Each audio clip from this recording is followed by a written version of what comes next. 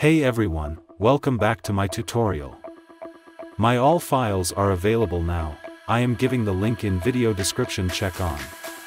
Okay, today we are going to create this.